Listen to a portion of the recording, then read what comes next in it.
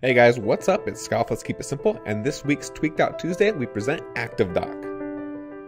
ActiveDock mimics the Mac by bringing you bouncing notifications as well as lights to let you know that apps are running in the background.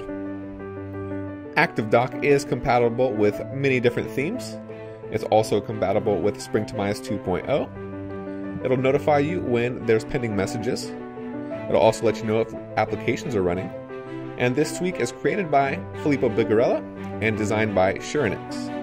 You can easily configure it via the Settings app, and it has seven different options for time intervals, and it is also compatible for all iOS 6 devices. You can get it today in Cydia for just $199. Well, that's all for this simple video. I hope you liked it.